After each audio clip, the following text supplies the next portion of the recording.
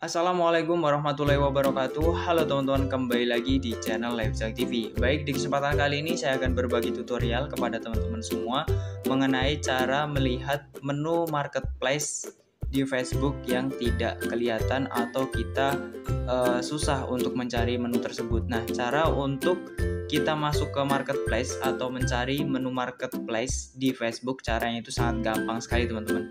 Nah, jadi di sini kita langsung saja untuk ke tutorialnya.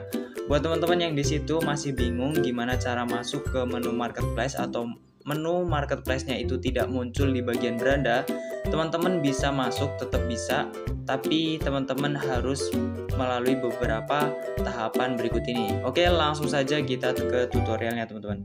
Di sini teman-teman masuk aja ke aplikasi Facebook teman-teman. Setelah itu teman-teman bisa lihat ya di bagian atas seperti ini. Ini teman-teman bisa lihat bahwa di sini tuh ada yang namanya beranda pertemanan dan apa ini e, pesan. Dan teman-teman masuk aja di bagian yang ini teman-teman. Yang pojok sebelah kanan atas teman-teman klik aja seperti ini maka akan muncul beberapa menu teman-teman. Nah menu ini bisa teman-teman bisa scroll aja sampai ke bawah seperti ini. Nanti teman-teman akan melihat beberapa peraturan di sini ya Nah, di sini teman-teman langsung saja fokus pada yang bagian marketplace. Nah, dia tuh letaknya di sini. Sebenarnya bisa disetting untuk di taruh di bagian berada. Cuman nanti kita akan bahas di next videonya teman-teman. Kita klik aja secara otomatis nanti teman-teman akan melihat uh, beberapa postingan-postingan yang akan dijual oleh uh, si marketplace ini.